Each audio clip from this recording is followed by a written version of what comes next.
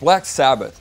I remember the first time I heard Geezer Butler. I was visiting an older cousin of mine, and he had a CD collection, and he picked Black Sabbath, and he pushed play, and this is the first thing I heard.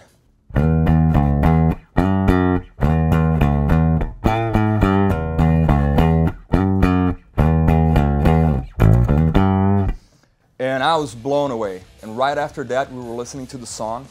And I grew up in Brazil, right, where we speak Portuguese.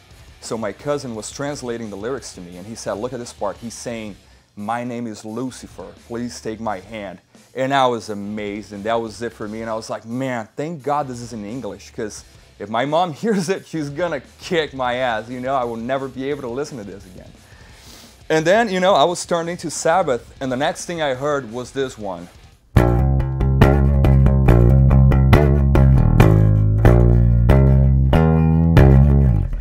And that record, Sabbath Bloody Sabbath, changed my life. It's still one of my favorite Sabbath albums, and I think Geezer Butler is the heavy metal bass player, the go to when you look for bass on heavy metal. And yeah, I love it.